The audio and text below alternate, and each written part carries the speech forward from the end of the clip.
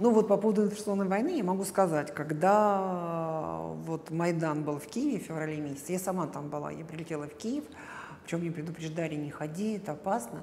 Я провела всю ночь на Майдане, я ходила, я общалась с людьми, очень любопытный человек, а, я общалась с людьми, я была в госпитале, я заходила в храмы, я заходила в палатки, меня кормили. Причем я честно говорила, что я только что самолет, что я прилетела из Москвы.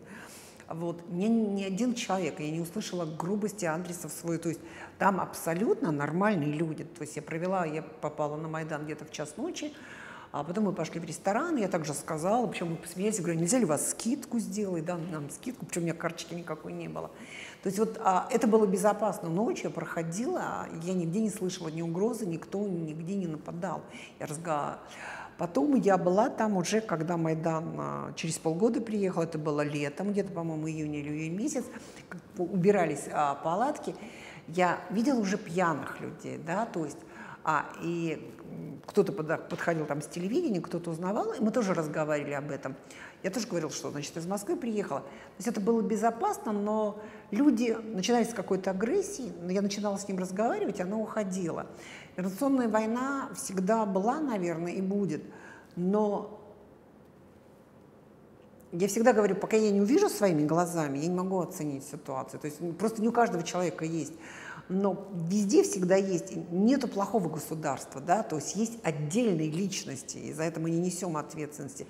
Я совершенно уверена, да, на, на той же Украине там можем приехать, наверное, в Америку, в любую страну, и мы найдем людей, которые будут абсолютно к нам хорошо настроены, и мы можем найти также кучку людей, как у нас, так и там, которые будут настроены агрессивно. От чего это зависит? Наверное, вот то, что мы говорим от, от воспитания или от брошенности, вот семьи брошены, что-то не вложила, что-то вот, да, вот есть кварталы, да, неблагополучные, когда мы приезжаем за границу, нам говорят, вам туда не ходить. Да? Я думаю, что а, то, что вот государство не вкладывает, мы не развиваем институт этот семьи брака. Получается вот то, что мы имеем. Ну, возвращаясь к теме информационной войны и пропаганды, как обычному человеку этого всего избежать втягивания в это? Иметь собственное мнение, когда тебе вокруг навязывают Нет, то, давай, что... Давайте мы, смогли склеить. А обычным людям, да, нужно с этого начнуть, ну, чтобы полная фраза была. Но обычным людям надо иметь полностью информацию, а мы ее не имеем, потому что она все равно для нас закрыта. У нас все равно нет свободной прессы, та, которая существует, потому что мы будем показывать на своих каналах а, то, что подходит нам, а те каналы будут показывать другое. Мы не находим компромисс. Я не знаю, наверное, наши... Мы не можем договориться друг с другом. Поэтому, поэтому вот так. Никак. Я, честно говоря, я не знаю как. Я составляю свое мнение, если я вижу. Когда мне говорят, там вот убивает, там вот это делает. Да, есть, наверное, какие-то частички. Но я тогда говорю, я должна приехать туда и увидеть сама. Просто не каждый человек это может позволить.